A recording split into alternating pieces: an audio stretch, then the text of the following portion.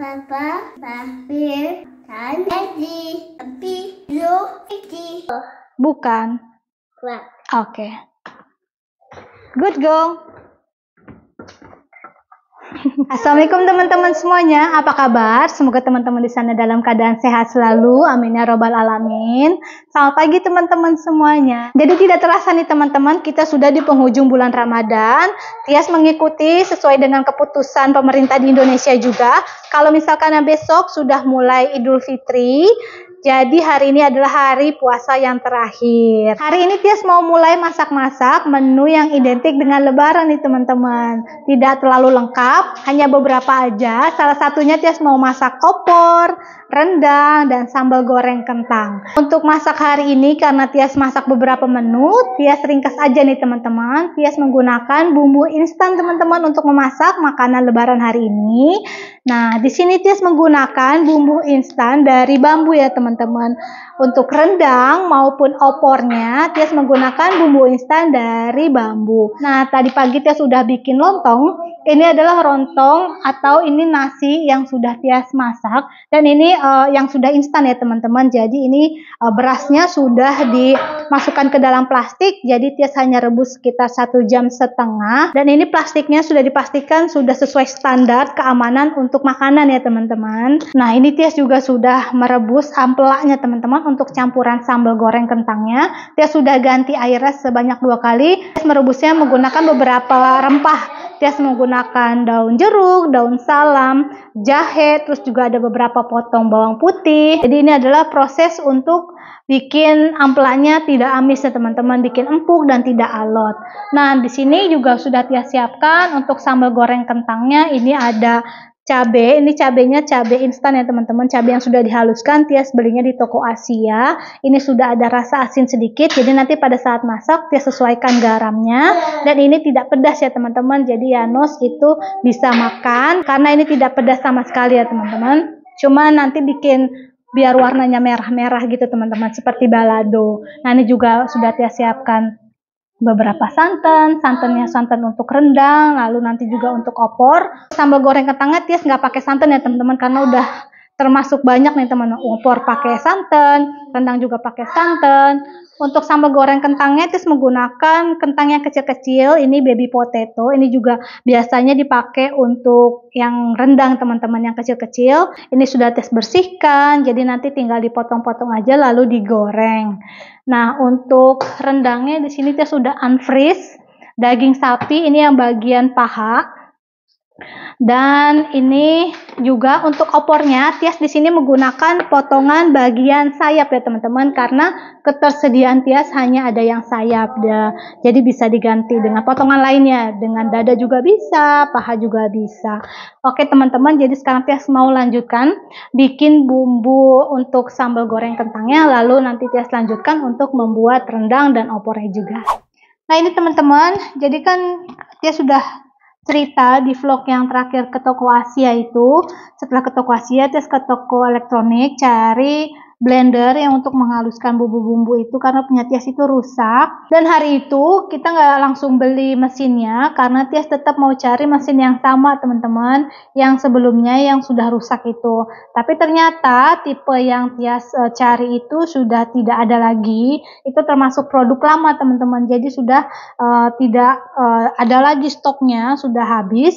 Dan ini akhirnya Yanos beliin di toko elektronik yang di dekat rumah teman-teman. Jadi sama ini mereknya juga dari Teval tapi dengan uh, tipe yang berbeda. Pertama kali perdana Nitias pakai teman-teman. Nitias menghaluskan bawang merah, bawang putih seperti biasa kalau untuk bikin sambal goreng kentang.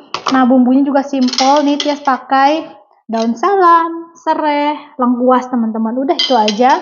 Nanti bumbu kaldu, garam, gula. Ya Yasmin? Ya. Oke. Okay. Yasmin lagi di toilet manggil-manggil teman-teman nanti tes lanjutkan lagi.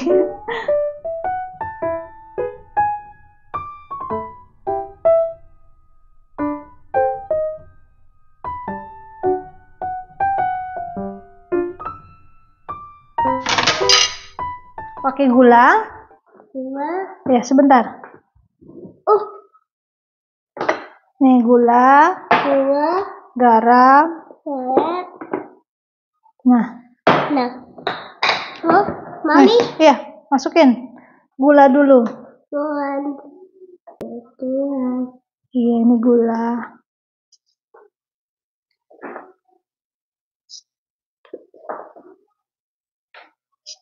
Nah, udah gulanya, Nanti kamar.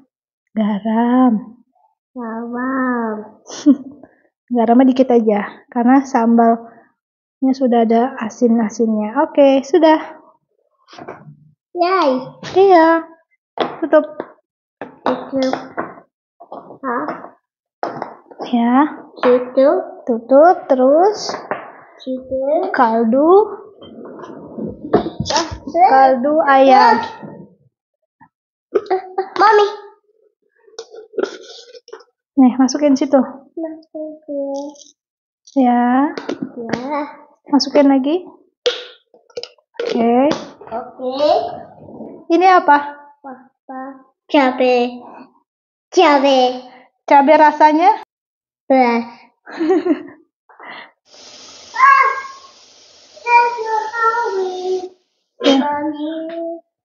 Sekarang persiapan masak opor. Ini nanti ayamnya direbus dulu sebentar, lalu airnya dibuang. Nah, nanti Tis ganti lagi yang baru. Nah, itu akan Tis mulai masak untuk opornya. Oh no. Ya, Oh. What's this? Ayam? Iya, ayam. iya. Oh, siapa? Mm-mm. Mhm. Mami, this? Daging Daddy, sapi. Sapi. Iya. Mom? Ini ayamnya udah mulai mendidih dan berbusa nih teman-teman. Udah mulai ngambang. Nah, ini nanti Tias buang yang busa-busanya itu diganti dengan air yang baru.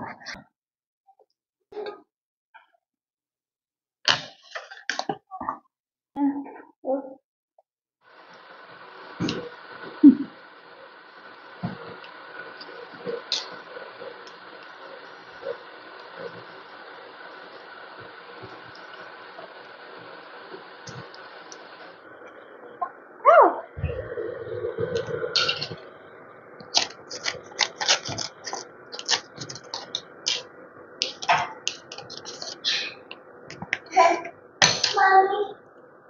Aku Mana?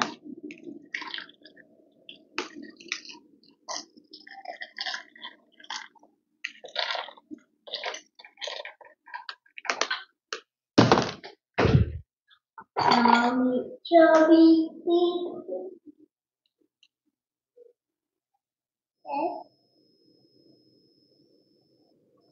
Wow.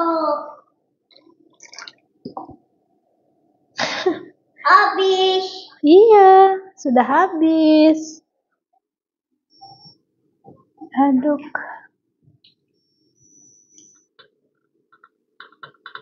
Tiga. Three.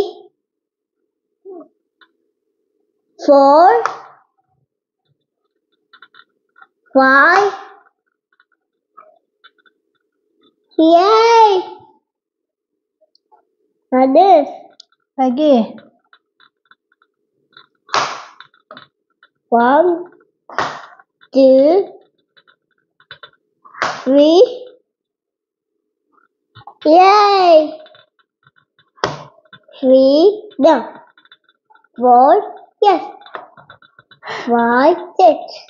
Ini sengaja Tias nggak kupas ya teman-teman karena seratnya itu lebih banyak kalau misalkan kentang tuh makan menggunakan kulitnya dan ini juga bersih. Kalau di sini di supermarket tuh nggak ada tanah-tanahnya gitu teman-teman sudah dibersihkan. Wow! Dia masukin bumbu, wow. Enak ini. Yasmin nanti mau? Mau? Iya, ini nggak pedas. Yes. Mana? Enggak, nggak pedas.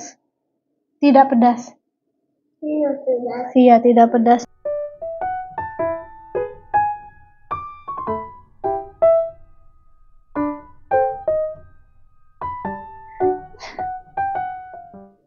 Asistennya makan terus, tadi makan keju. Sekarang minta yogurt. Tadi nggak ke record dia makan satu ampela teman-teman. Nih, tuh, ini udah ampela yang kedua. Tadi dia makan, terus habis itu lanjut minta yogurt. Asisten masak capek? Capek? Well, Mana lemon? Mhm.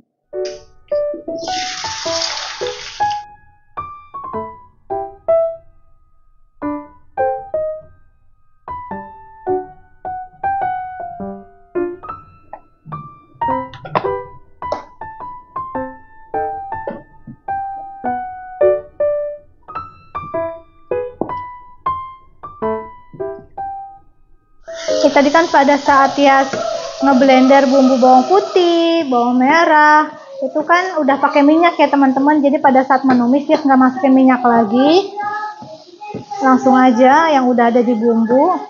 Nanti ini kalau setelah sudah harum, bumbunya juga sudah matang, nanti Tias masukin sambelnya. Harum banget ini Tias sudah buka jendela karena udah nggak dingin ya teman-teman, jadi udah bisa buka jendela biar ada lebih refresh kalau masak jadinya nggak terlalu bau. Oke, ini udah matang. Sekarang Tias masukin sambelnya.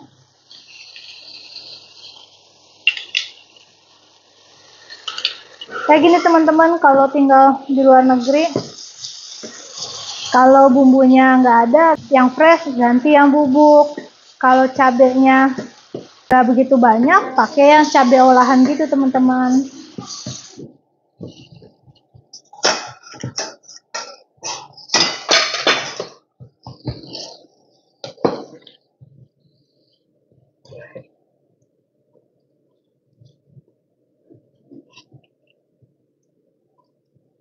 Dan ampelanya. Ini daun-daun salamnya tadi masih ada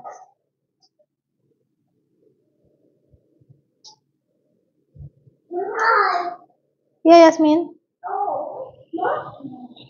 Iya Iya. Mau lanjut? Lihat mami masak? Masak. Oke Ah, Awi. Warnanya sangat menggoda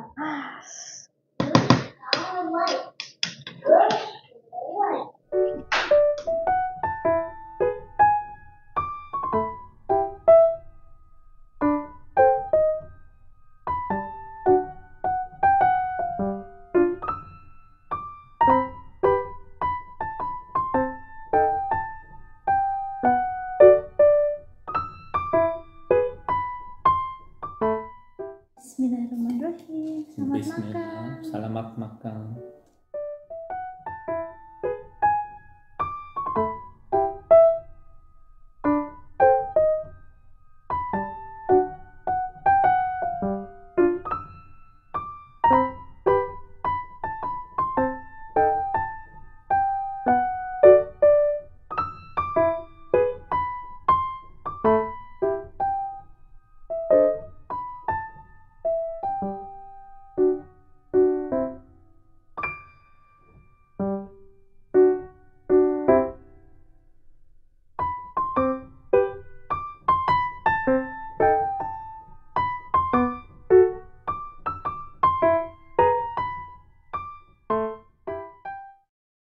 done, finished. Thank you.